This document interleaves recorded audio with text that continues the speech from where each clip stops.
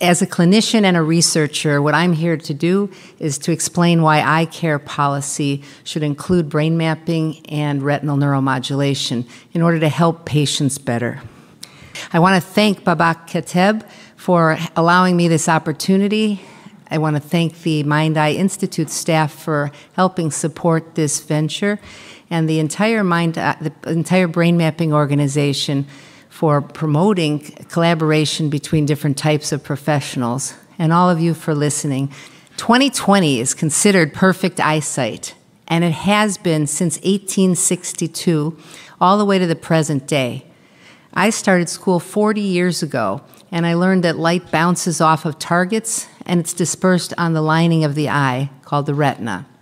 And we learned that being able to read 2020 on the charts does it means that you don't need any glasses. That type of testing shows that light came into the eye and was an input mechanism. But in reality, with new scientific discoveries, they're finding it's a two way street. It's not just inputs.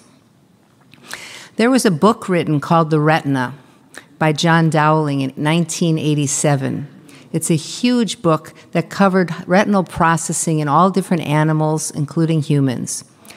25 years later, in 2012, Dr. Dowling wrote a second edition.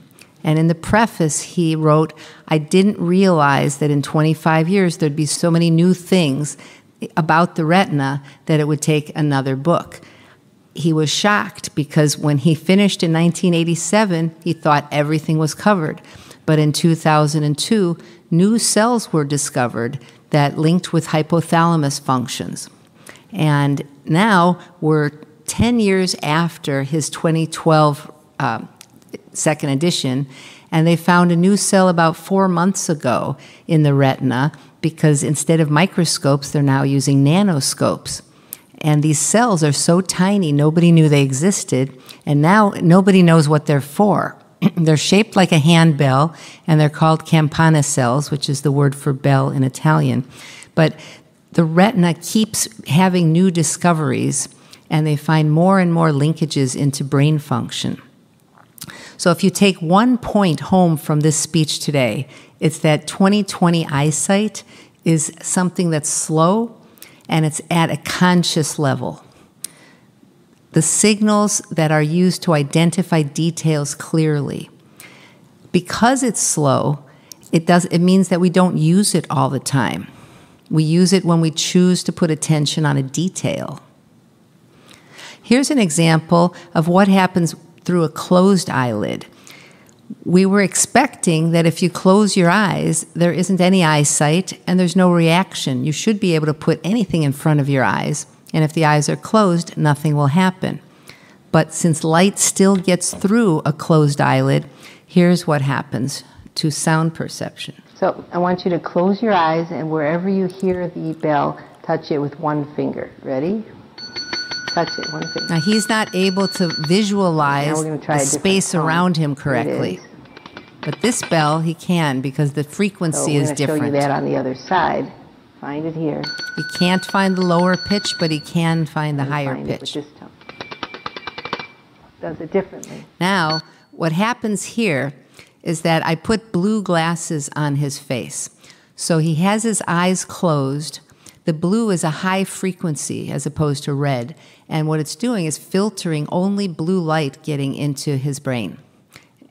The reason I say brain is because the retina is a piece of the brain and the blue light is going through his eyelids, and now he's able to find so that low blue pitch. color makes a big difference because it's allowing the higher frequency sounds in and getting rid of the low frequency sounds. The point of that is that light traveling through a closed eyelid is affecting spatial perception and it's affecting brain processing retinal stimulation affects systems that are completely separate from eyesight. They're called non image forming pathways, and they link directly with brain processing. So here's an example you have image forming sections in your brain and non image forming sections in your brain. The retina sends signals through the optic nerve to both places. The image forming is central eyesight when you identify details, and peripheral awareness, which is awareness of the background.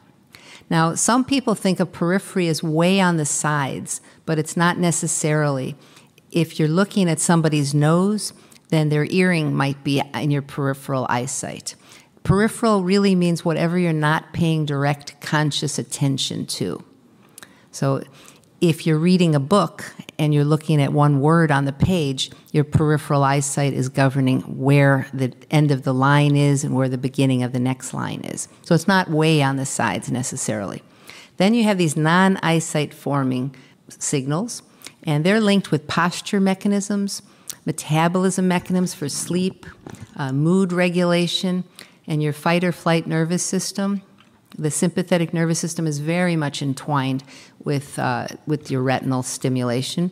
Just think of what happens if you're driving and you see a police car chasing you all of a sudden. Your fight or flight turns on instantly, and your heart rate goes up. The peripheral retina, which is different from the central retina, has both non image forming as well as image forming signals. The image forming signals are used to determine speed, location, size, and shape, and we use them all the time. For instance, in driving, the only time we use central eyesight in driving is to look at a license plate or a street sign or to find an address. Most of the time, driving requires peripheral eyesight. And the same with reading. If you're skimming and just scanning along on a book, you're using peripheral eyesight to judge the shape of words you use your central eyesight when you're trying to proofread and look at commas or periods or, or small letter changes. 2020 eyesight isn't going to save this man. The key point I want you to take home is that 2020 eyesight is slow and it's processed at a conscious level.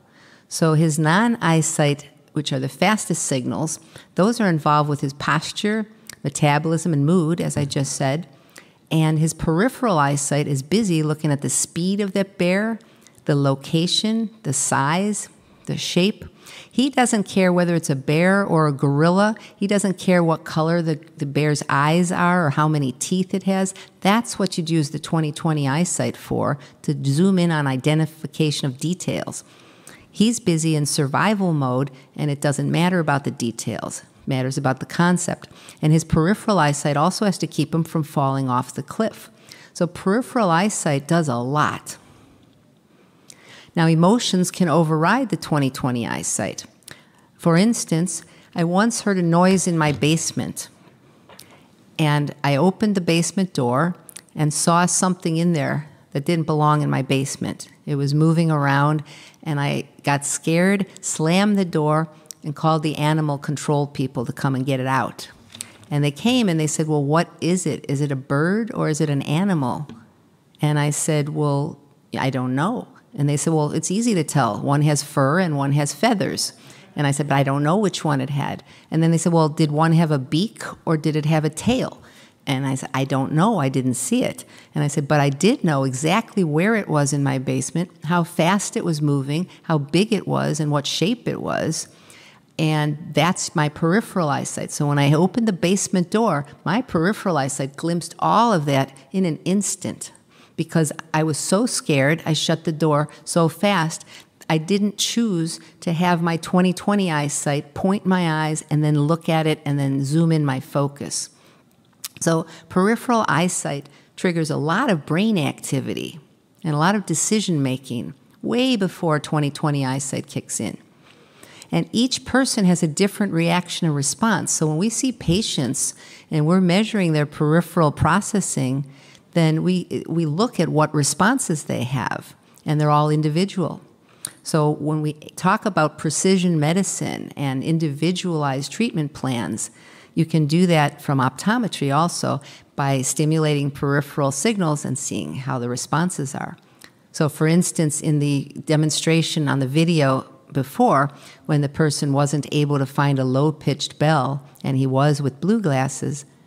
There are other patients who can't find the high pitched bell, or other patients who can't find it just on one side, or other patients who need green or red, something different. Each patient is a nice puzzle. So, this is why eyewitness accounts differ You can have a car accident or a robbery, and everybody is uniquely paying attention to different things that interest them or that scare them. And the policeman can come and try to get reports, and they'll have five different versions depending on what each person is paying attention to.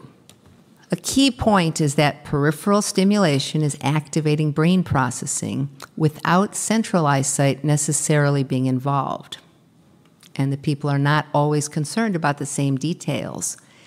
I had a patient once in my office and they left, and my employee said, Did you see what they were wearing? And it was like, No, but did you see how pretty their eyelashes were? And she hadn't looked at their eyelashes, I hadn't looked at what they were wearing.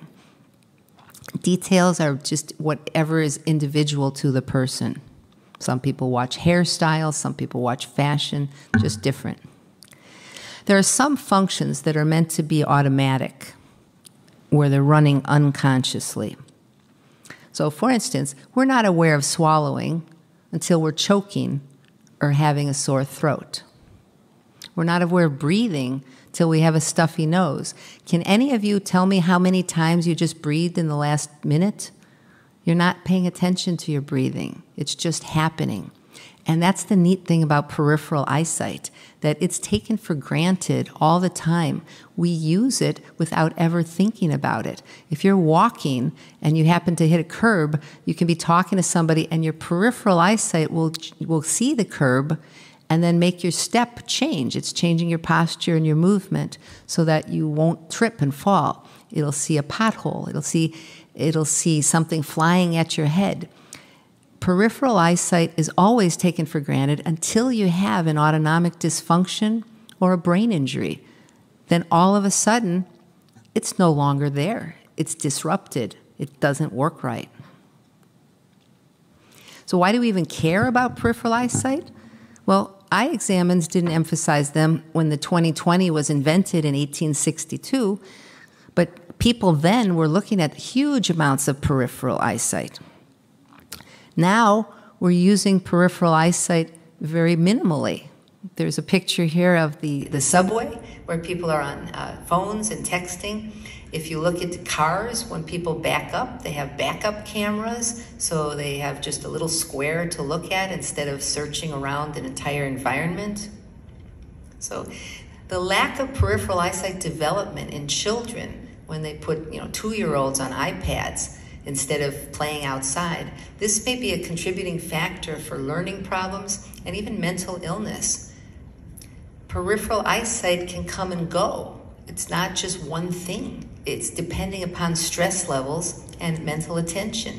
So, for instance, if you're in an argument with somebody, you tune out your peripheral eyesight. If you're in an argument with somebody directly, you zoom your attention in to be paying attention just to that person. And somebody else can walk near you and you wouldn't even be aware of it. Or in a restaurant, you could be interested in a conversation and somebody can all of a sudden uh, have the check placed by a waiter. The waiter can come and put the check down or fill your water up, and you're not even aware of it. So the peripheral eyesight can tune out when you need to, when you're paying attention, but not in patients with brain injuries. I, I made a continuum of attention, and it goes from a pen light to a floodlight. So you can think of your peripheral retina. If all of the cells are activated in it, it's as if a floodlight is on. And you would use that to scan a room if you're trying to scan to find somebody. You would use the pen light portion of your retina and tune out the rest of it if you were trying to zoom your attention on one thing. Most people live in a comfort mode where their central eyesight is on, the targets that they want to look at, but their peripheral eyesight is still also on to, to make sure they're safe. After a brain injury, they're not able to calibrate the same way as a neurotypical person. So, in general, a neurotypical person has this central comfort range, and then they kind of go back and forth and mentally calibrate from the pen light end to the floodlight end. If you're too much at the floodlight end, people label you with attention deficit. If you're too much at the pen light end, people label you with, with autism. So most people stay kind of in the middle. But autonomic dysfunction and brain injury changes where a person is on that continuum and it hypersensitizes or hyposensitizes the periphery so that it's just not functioning efficiently anymore. And people can't recalibrate. So they complain of light sensitivity, they bump into doorways, things like that. Eyeglasses can change that. The pen light people need the periphery awake, awakened, and the floodlight people need it muted. This is the current world. It's filled with sensory bombardment. But typical eye testing may not thoroughly assess that. The eye testing on an eye chart was designed in 1862. Other things invented in the 1800s were the Morse code. Morse code is a way to avoid the Pony Express. Instead of writing a message, handing it to a person, having the person get on a horse and ride a day or two to give it to somebody, they developed Morse code. And you could click, click, click and have a message sent within minutes. It's a brilliant invention, but we no longer use it because it's technologically obsolete. In 1839, when they screened Ulysses S. Grant, they had him look at letters. The letter chart and identification and using your 20/20 eyesight, that's been around for 180 years. Another incredible invention was the person who said, Let me take a sound that's produced and capture it so that I could play it back later. I mean, that's incredible. But we don't use Victrolas much anymore because MP3 players are much better. The Victrola is technologically obsolete. Cars, somebody who said, let's have a horseless chariot. Instead of having horses pull us, let's have an engine that has horsepower built into it. Incredible invention, brilliant invention, but it's technologically obsolete because we've replaced it. Now, the eye testing, this uh, instrument was invented in 1904. So the concept of the 2020 letter chart and how the, the gradation of letters were organized matched with lenses. That's from 1862, but this is 1904. And it's just a fancy way to hold lenses so that you don't have to say which is better, one or two, by pulling single lenses out. But in 100 years, from 1904 to 2022, it's very minimally changed. And when you use that, it, you're showing just central targets. You're looking at letters and that's only 6% of your view. There's 94% of the view that's not being paid attention to. Here's the timeline I was mentioning. The lenses were put together 1838. The eye chart was uh, calibrated to match the lenses in 1862. The instrument for looking at your uh, eyesight to put in front of your face that's called a phoropter, and it was from 1904. Now, as you see the iterations that go through 2021, the instrument is sleeker and fancier and now computerized, but it's still doing the same thing. It's still blocking off your eyesight. We're still measuring central eyesight, and we're still doing it with conscious attention. We're ignoring the peripheral eyesight. It's being blocked off. Now, some of you might say, but wait, my eye doctors test my peripheral eyesight. But when they do the peripheral eyesight test in the offices, it's meant at a conscious level and it's designed specifically to find pathology. So it's looking for damage to peripheral eyesight. And they say, look straight ahead and push a button when you hear when you see something out of the corner of your eye. But you're consciously paying attention to where is the little dot coming from. So it's not the same as when you're walking around and not thinking of your peripheral eyesight. So the central 2020 eyesight which I want you to go home realizing is slow and at a conscious level it's part of the what do I see? It's an identification process. The peripheral eyesight as I said, is used for pathology, but it's part of the where and when, the space and time judgments. And it's more of a navigational process. So you have identification and navigation. You know this from when you get new glasses. Sometimes they often feel funny, but the typical person can adjust to a prescription designed for the central eyesight. So this, the eye exam is fantastic for the bulk of the population. So the Central 2020 eyesight, which I want you to go home realizing is slow and at a conscious level, it's part of the what do I see? It's an identification process. The peripheral eyesight, as I said, is used for pathology, but it's part of the where and when, the space and time judgments. And it's more of a navigational process. So you have identification and navigation. You know this from when you get new glasses. Sometimes they often feel funny, but the typical person can adjust to a prescription designed for the central eyesight. So this, the eye exam is fantastic for the bulk of the population, but an overwhelming percentage of brain injury patients or people with autonomic dysfunctions or people with even long COVID, those are people that have a lot more trouble adapting to changes because the peripheral retinal signals going in is confusing. So, what I'm proposing, since the retina is part of the brain and made out of brain tissue, is to map the brain onto the retina, use brain mapping at the retinal level. There's a point to point correspondence with cortical sections. And if you did that, you could then use it to zero in on brain injury. Um, I have a speech tomorrow on how you can use the retina as a poor man's MRI and you can selectively activate different spots on the retina to route through various cortical pathways. It would facilitate an individualized rehabilitation. So, why is retinal mapping an important part of brain mapping? Because it's non invasive. The newest research shows that retinal degeneration is a reflection of what's happening parallel to brain degeneration. So there's studies that show that in multiple sclerosis, not only does the brain have uh, signals that are not working right, but the retina is changing its thickness. In dementia, the retina gets thin, but always in the same spots. It, that's with Parkinson's and dementia. There's studies on schizophrenia, studies on bipolar disease, looking at retinal tissue and now they're trying to figure out is it the chicken or the egg? Does the retina degenerate first and then the brain, or does the brain degenerate before the retina?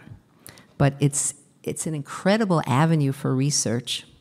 And few people realize that eyeglasses are one way to directly alter brain activity because the clarity of a target is just one aspect of visual processing. Visual processing is an enormous thing.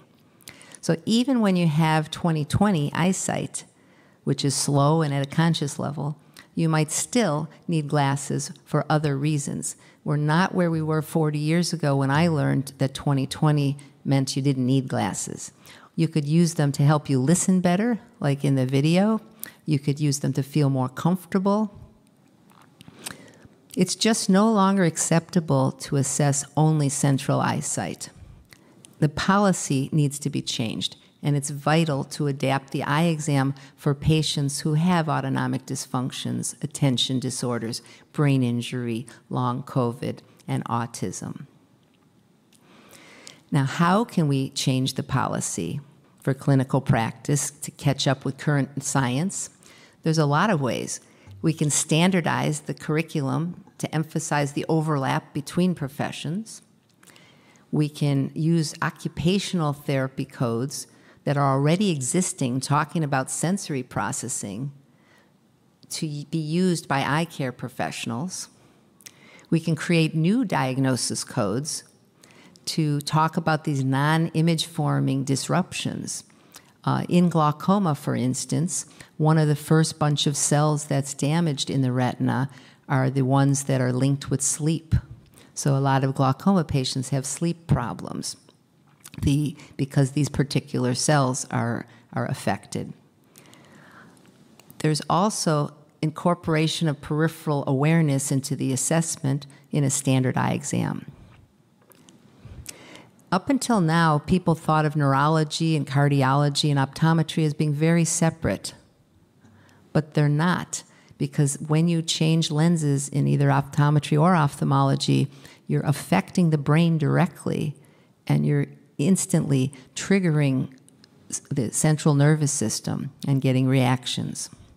They have to be thought of as together. So, one way to do this is to start with collaboration. And I think that can begin with brain researchers needing to include the effects of eyeglass prescriptions on neuromodulation, and optometrists needing to learn more about these non image forming pathways. Collaboration between the scientific community and rehab professionals and mental health care providers and legislatures has got to make a better quality of life for patients it's going to save healthcare costs and it's going to increase productivity and it can take some people off of disability. We have so many patients on disability that, you know, they have uh, mismatches between their auditory maps of the world and their visual maps, between their right side and their left side, between central and peripheral processing. And when we put specific types of glasses on them, all of a sudden their brains work differently. They can go back to work and be comfortable instead of uncomfortable. The Society for Brain Mapping and Therapeutics that all of you, oops, that all of you are a part of is a different kind of organization and it's based on collaboration between professions. This is the wave of the future. It started with engineers, neurosurgeons, and uh, scientists. And it's now expanded worldwide to include the military and different brain initiatives. It's got a brain technology innovation park that's just on the cusp of happening, and that's going to be even more collaboration. It's going to allow a platform for eye care to be one of the first stops for brain function. When Babak made this organization and talked about breaking boundaries of science, he wasn't kidding. I started in this organization in 2009, and there were about 20 people.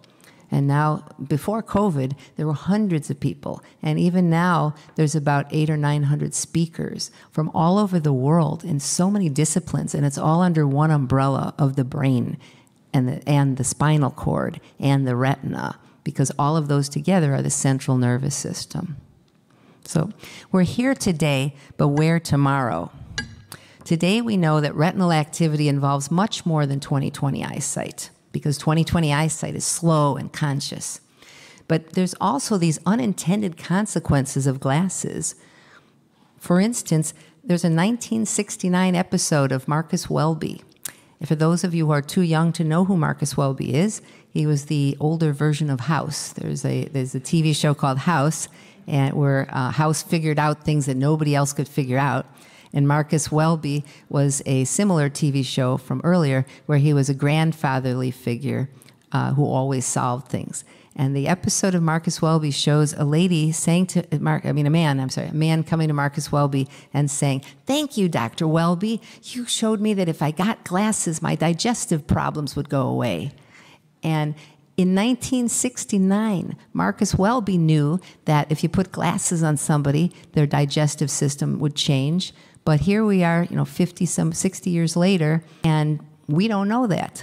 But it's true. And we, I had a patient who was a bird watcher, and she used to always have trouble figuring out where to find the birds. She could hear them, but she couldn't place where they were. She was like the patient I had where they couldn't find the bell. They heard it. And we put glasses on her, and she came back and she said, Oh my goodness, now when I hear a bird, I can turn my binoculars immediately and see them because I know where the sound is. So, the concept of next, the, where, where we are in the future is that visual stress induces physical reactions. So, when we take away visual stress, we're going to be able to alter people's lives and help people in ways they've never realized before. Because people don't realize if they see 20/20 out of each eye, but one eye sees it easily and the other eye sees it with struggle, they're still graded as 20/20, but there's a circuitry imbalance. So the brain is under total stress. So the challenging patients require increased sophistication of testing and treatment. So I hope you're going away realizing that even if they're 2020, they still might need glasses to function more comfortably and efficiently. So, how are we able to help and who can we help? We're able to help people with learning disabilities, mental illnesses, brain injury, PTSD for veterans, autism, genetic problems, anybody whose brain has not learned certain systems that hasn't developed properly, or somebody whose brain has been disrupted with the development. Trauma patients are like that for the PTSD. There's something that has disrupted the linkage between peripheral and central eyesight. So, for instance, in a veteran, their peripheral eyesight isn't taken for granted because it's always on hyper alert. It's always looking for a sniper, for somebody around. Peripheral processing is crucial, and yet we shouldn't any longer, for the brain injured population, be blocking it off when we test them. So, eye care provides this missing link by changing the brain through retinal neuromodulation. For instance, we know 85% of people with high blood pressure have no known cause. But changing light on the, on the retina directly affects the central nervous system. So, wouldn't it make sense to do some research on maybe eyeglasses can help the patients where blood pressure isn't regulated easily with medications? There also might be other systems that might be affected, such as digestion.